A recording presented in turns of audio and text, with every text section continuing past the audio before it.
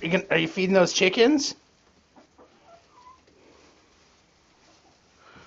You feeding them some corn?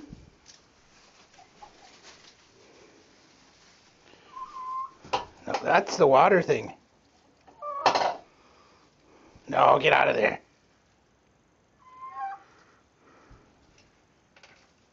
Don't put corn in their water. That's that's not nice.